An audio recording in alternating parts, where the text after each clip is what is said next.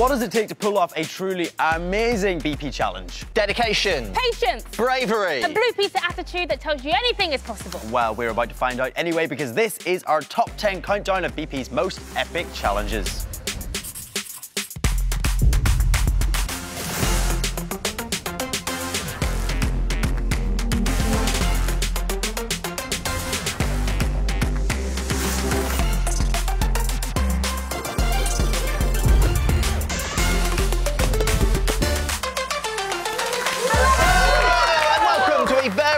Special Blue Peter where we look back at some of our favourite challenges over the last few years. Yes, we asked you, the BP fans, to choose from a list of 10 challenges and vote for your favourites. And today we'll be counting down numbers 10 to 6 in part 1.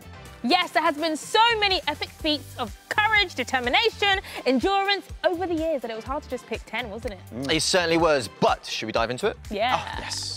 Starting in at number 10, we've got our very own Lindsey Russell. Back in 2014, she took on a mountain marathon, which was so physically and mentally demanding, it was the equivalent of four back-to-back -back marathons. Let's have a look.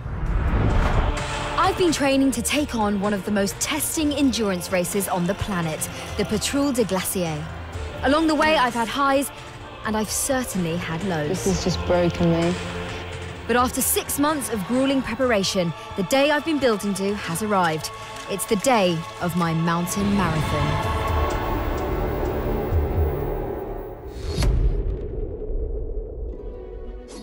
In the shadow of the Matterhorn mountain is the Swiss town of Zermatt, the start point of the race. Inside our team hotel, I'm making my final preparations alongside teammates former Olympic skier Graham Bell and top mountain guide Graham Frost. We'll be attempting to cover 110 kilometres of uphill climbing and downhill skiing in the colossal Alps range. We depart from the town of Zermatt at 9 pm, climbing through the night, hopefully arriving around 17 hours later in Verbier. Nine o'clock. Five, four, three, two, one. Here begins my mountain marathon. We have three hours to make it to the first checkpoint at Schönbiel, or else we're out of the race.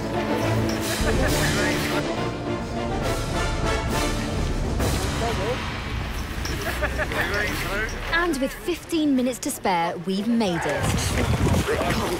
Right, get wrapped up. More clothes.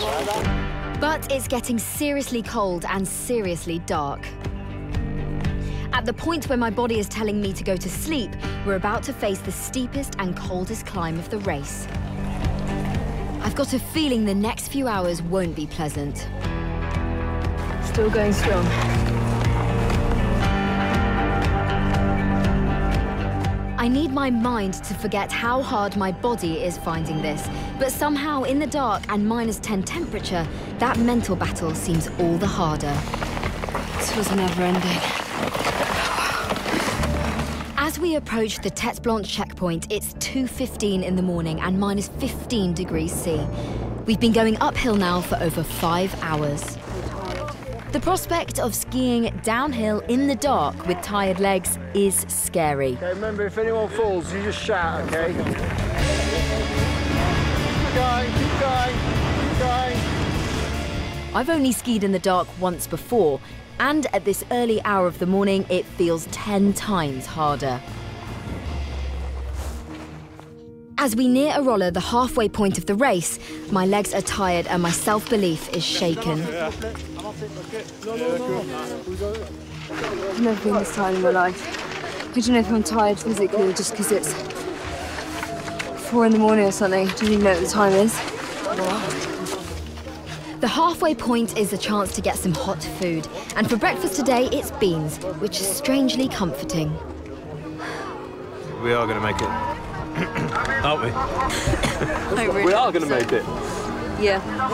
Come on. So after just a 20-minute break, it's time to set back off on another uphill climb.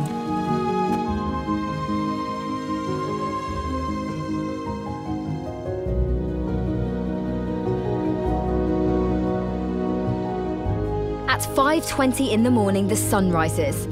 and that really helps to lift my spirits. Climbing in the dark meant we couldn't see how truly beautiful our surroundings are. By 7:30 a.m., we've nearly climbed the Riedmatten Peak, and this is what we can see. Hand on the rope, a bit slippy on the rock there. Over the ridge, as we make our way down, I fall. Oh. It's all right, I've got you. How was that, Lindsey? Absolutely terrible. At nine o'clock in the morning, after a brief section on the flat, we're approaching another massive climb. After 12 hours of racing, so much of me wants to give up, but I have to cross the finish line. To get through this is going to take every ounce of mental strength I have. At 11:30 a.m., the end of the last big climb is in sight. As I near the peak with the support of everyone around me, I know I've completed the toughest part of the course. Awesome. Totally awesome. The climbing is over, but we still have to make our way downhill to Verbier. it's a long ski on very tired legs. Right then, time to get skiing and finish this race.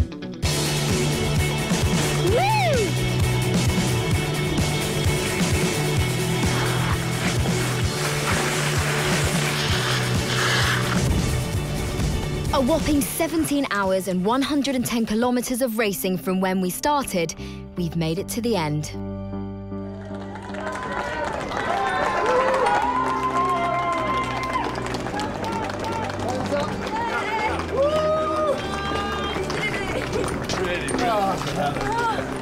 What I've just done has been the hardest thing I've ever done, but also the most satisfying. And I'm really proud of myself for doing it, even though I thought it was impossible. Just goes to show if you think something's impossible, you should just go out there and have a go because actually you might surprise yourself and you might end up making yourself really proud. So, yeah.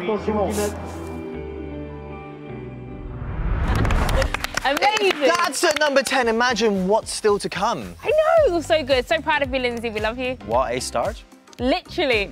Now, we're on to number nine. And guess what? It's me! Now, before I started here at Blue Peter, I had never used sign language before, which is why it was a real challenge when I was asked to join a very special lockdown performance. This is Sign Along With Us, a group of 70 performers aged from 5 to 58 who sign a special form of sign language called Sign Supported English whilst performing as a choir. The group was started by Jade and her brother Christian, and they blew the judges of Britain's Got Talent away with their performance of This Is Me. Hey, Christian. Hey, Jade, how are you? I'm good, thank you. Um, so you guys use sign language to communicate. Tell me about that. But when Christian was born, he was stillborn and he didn't take his first breath for 24 minutes, um, which led to him having a type of brain injury called HIE. And we was told because of his brain injury, he would never understand what we were saying and he would never be able to then understand it enough to communicate back. But he would just light up whenever we spoke to him. Mm. So I'd heard about sign language and I'd heard that it helped a lot of people when they couldn't talk, when they couldn't communicate. So I started doing signing with him every day and he just loved it. He just literally, his face lit up whenever we would sign. So how did the choir come about? You know, not only do I want him to be able to talk to me, to my mum, to my dad, I want him to be able to talk to everybody. So me and Chrissy was actually wondering if you would like to join us in our next like little sign-in song that we've been practicing. You would join the rest of the group and sign it with us. And you've got three days to learn the song. Three days. Yeah. You have a lot of faith in me. I can try. this is definitely my toughest Blue Peter challenge yet, but I'm determined to do this. That's not it. Rewind, rewind, rewind, rewind, rewind, rewind, rewind, rewind, rewind. I can either sing or sign, but when I try and do them together, my mind literally goes crazy. So I have a few days to perfect this. I knew the pathway like the back of my hand. Yes! Progress. And before I know it, three days has flown by and it's time to take on the challenge of singing and signing with the group.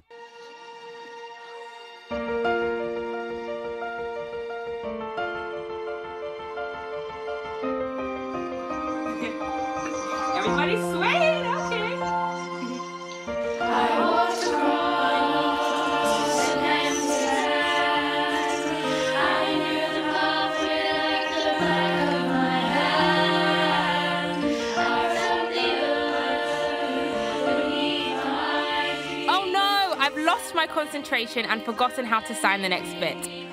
Luckily though, I've got the rest of the group to follow and I've managed to get back into my flow.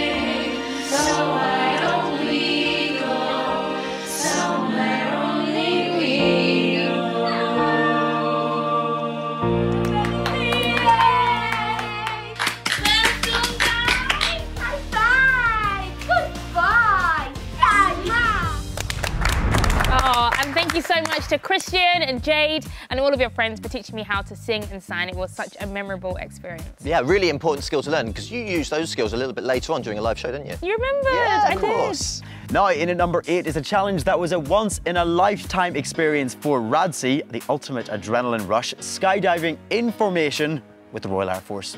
It's Radzi's freefall. I've earned the right to make a dream of a lifetime come true. With the help of some of the RAF's finest instructors, I've passed an intensive skydive course. We landed it on our feet! Meaning I get to perform a freefall jump with their iconic parachute display team, the RAF Falcons. For my challenge, I'll be part of two of the team's signature moves a free-fall formation, then the famous parachute stack. If all this wasn't enough, I'll then attempt to hit a special target on the ground. In the first of our two jumps, we'll try a free-fall formation, creating a pattern in the air before opening our parachutes. I'll be in the middle and will have to maintain total control for the falcons to form around me. Jump 2 is something no Blue Peter presenter has ever done before the iconic Falcon Stack. I'll be at the bottom as each member of the team forms a giant column under parachute. I'll have to turn at the right time. One wrong move and you can risk tangling parachutes, and that can lead to serious problems. Just one mistake from me ruins this entire challenge. There's a lot of responsibility on my shoulders, and I just want to do it well.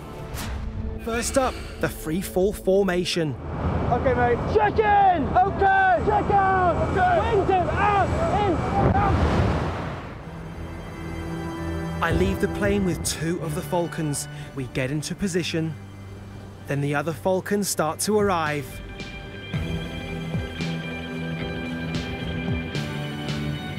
It's so hard to maintain control. One slip from me, though, and the whole thing will fall apart. Time is running out before we have to pull our parachutes. I just don't want to let the rest of the team down. And then...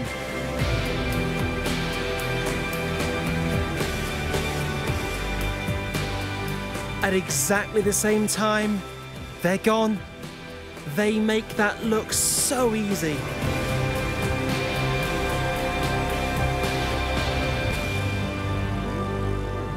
That's only half the challenge. So here we go, my last ever jump, and it's with the Falcons. Come on! Yeah, that's all copy. The drop zone's clear. Start the challenge when you're ready. No, Radzi! I've lost control again. I need to steady myself. The Falcons can't jump until I level out. The team now have to catch me and get into formation. Woo! We are open! I need to get into a turning pattern so the rest of the stack can follow. Above me, they start to form.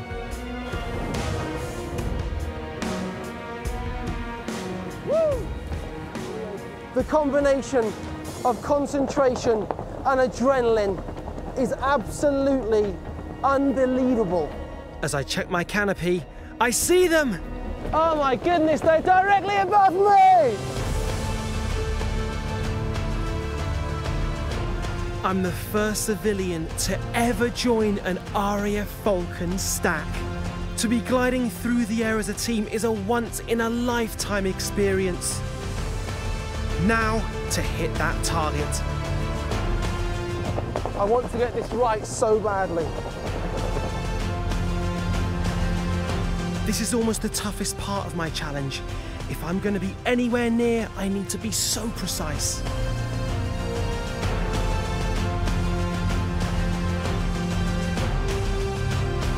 This is gonna be close.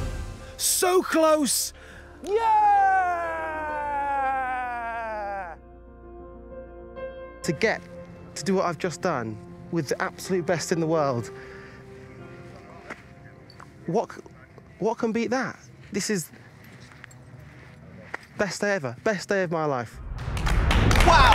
I don't know about you guys, I would much rather Radzi do that than me because that looked terrifying. Yeah, go Radzi. So good. I loved it. Okay, moving on to what you, the BP fans, voted in at number seven. It is BP presenter number 40, which is, of course, Adam Beales, who took on the most ultimate challenge. Yes, Adam's challenge was to be the first person ever to cycle the length of the longest lake in England. Have a look.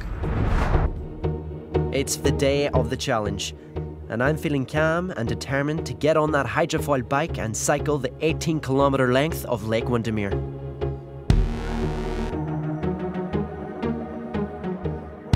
To add to the pressure, I'll also have the chance to break a world record today the fastest one kilometre on a hydrofoil e bike. So that means my first kilometre will be a sprint.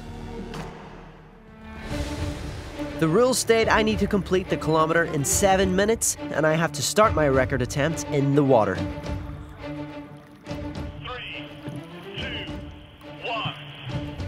Go, go, go, go. I'm going to have to go as hard as I possibly can if I want to stand any chance of breaking this record. It's the first time I've seen him do this in person, and he is rapid. I really need to push it. Gliding like a graceful goose. across the Swan! wa- Graceful swan. So, uh, mm, I'll be in touch with that. Right, Adam, home stretch. About 150 metres left. Woo! Nearly there. Keep it going. Keep it going. And you are uh, cross the line. Good Woo! man. I hope I broke it. Now you've just got another 17 kilometres left. Yay! Whoa! I've given it all I've got, but I won't find out if I've broken the world record until I get to the end.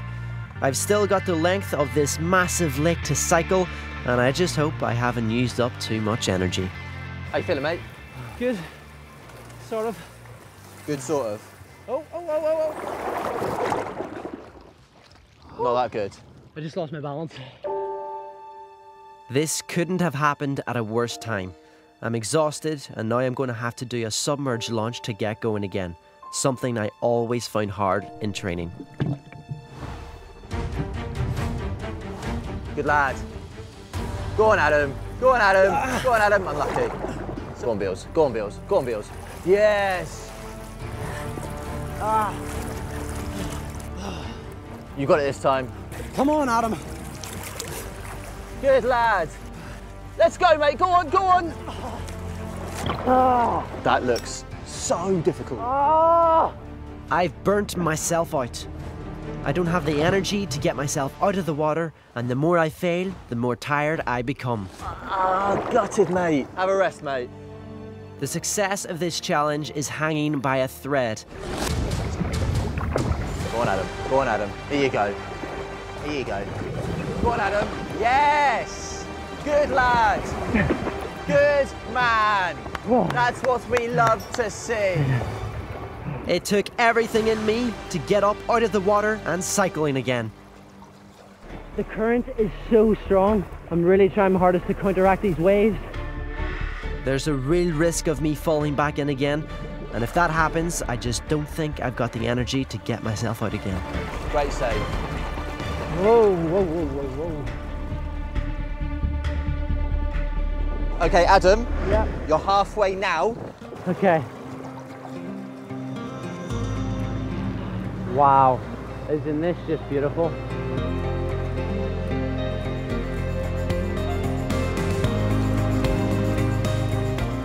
Okay, Adam. Yeah? Little update for you.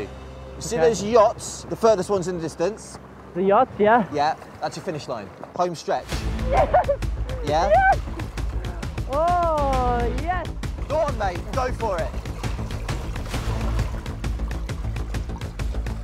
Good lad.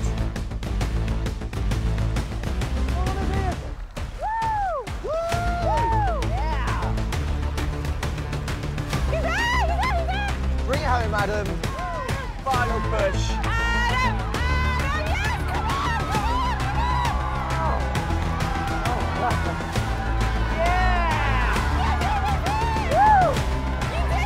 I did it!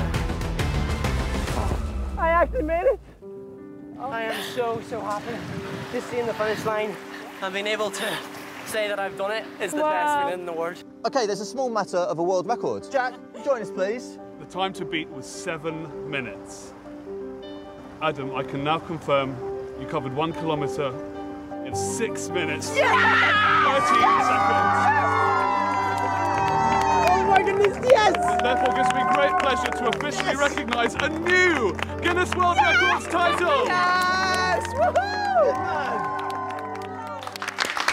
What a guy! A world record. Well done, Adam. That's amazing. Well, now on to number six, and I gotta tell you, this one is impressive. Yes, Radzi returns to the skies once again, but this time with Lindsey. Yeah, they were both strapped to the wings of an actual aeroplane flying at 120 miles an hour and upside down, which makes me feel a bit dizzy thinking about it.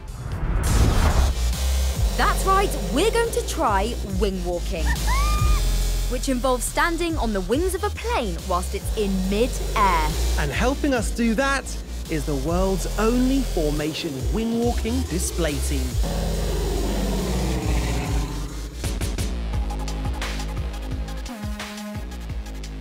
We're going to attempt a classic maneuver, the loop, the loop. We will each be strapped to a plane. Really tighten those. And whilst flying in formation, we'll perform a perfect loop in the sky.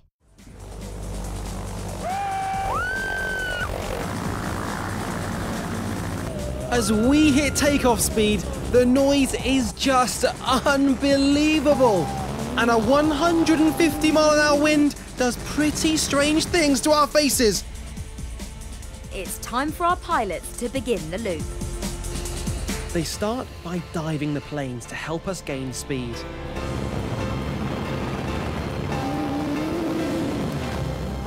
Then we begin to climb.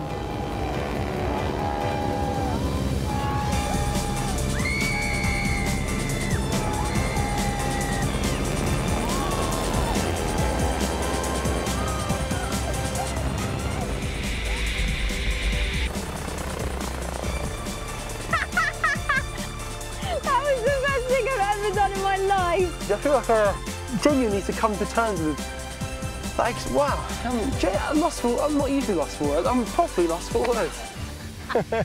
I've never, genuinely, in my all Blue Peter filming, I've never been that terrified, excited, happy, scared. All the emotions. Everything at once. Yeah. Well, do you know what? That's why it's a BP challenge. We've done it. Challenge complete. Challenge over. Yeah. Uh, you didn't think that was the challenge, did you? What? What you're actually here for today is to take on Blue Peter's iconic wing walking challenge. You must pass a one metre baton to each other while strapped to the wings of two planes. Oh, and Lindsey, you're the one going upside down. This is a ridiculous challenge. I've watched this challenge when we used to watch Blue Peter growing up, and they've always failed. So now the pressure's on. Third time lucky. Mm-hmm. And you know what's going to help? What?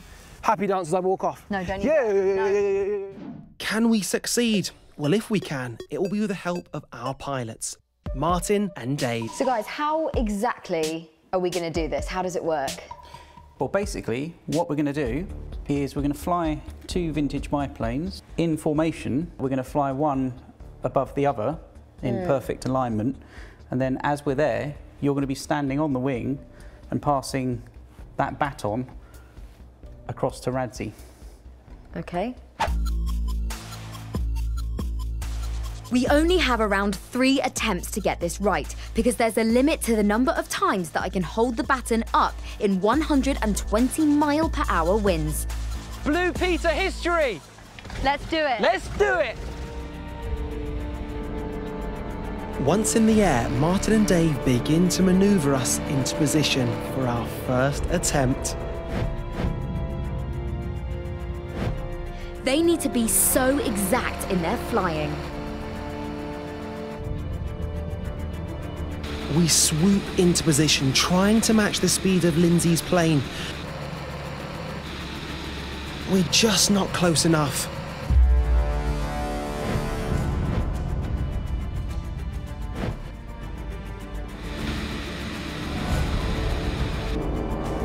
We're definitely closer. Are we gonna do it? Come on! No!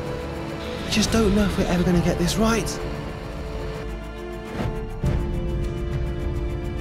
I'm starting to struggle. My arms are in agony. This is our last chance.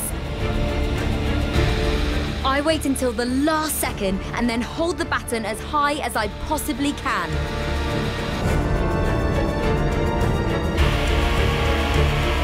Every inch of me is willing us to get closer. Just come on!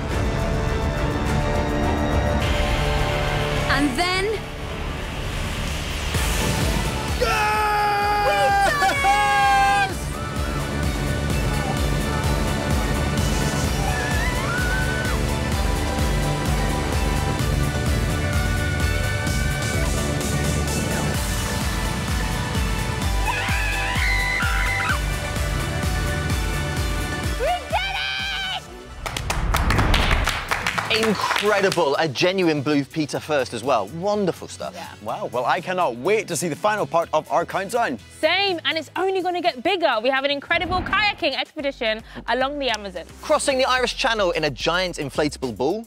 A journey to the South Pole. My climb to the top of the Old Man of Hoy. And an epic high wire walk. So, which challenge will take the top spot? You do not want to miss it. Take care. See Bye ya. -bye. Bye.